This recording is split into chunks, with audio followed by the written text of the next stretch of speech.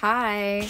Um, I am just sharing what I am learning and experiencing as I go through life. Um, and so I wanted to talk about um, there's like a lot of um, just like talk about, you know, fear in general.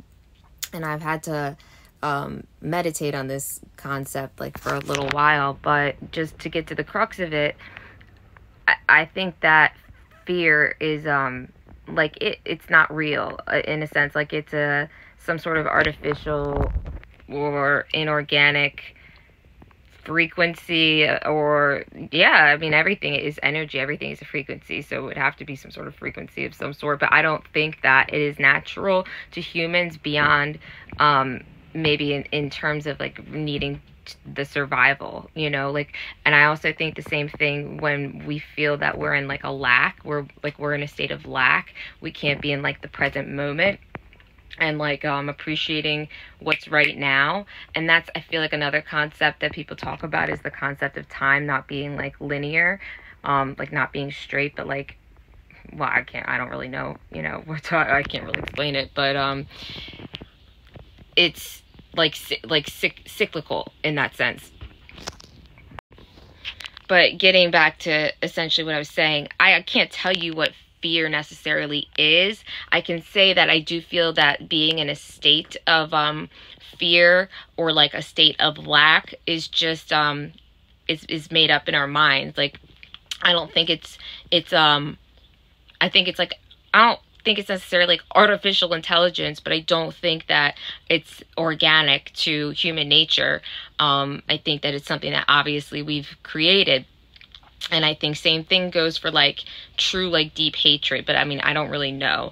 But I definitely feel that being fearful of something like is or trying to perpetuate fear like like we see on TV and whatnot um does like nothing fucking good obviously but so I try addressing like the fear. So I I ask myself like what are you so afraid of? And for me, I have a lot of fear of, of failure.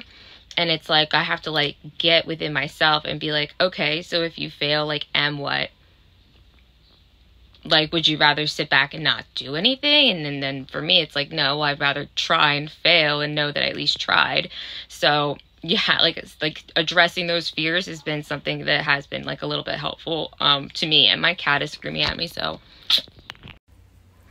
And so I think a part of that whole fear bullshit is like the whole other like um victim thing which is so easy to get caught up in where like I'll get caught up in it when I get into like my conspiracy theories about stuff because I'll be like oh my god like you know, they have mass control over like humans. And then like I have to pull myself out of it and say like, no, no one has control over you. Like you have free will to choose. And also like you kind of choose what's in your own reality, so to speak. I can't really prove that, but that is what I think.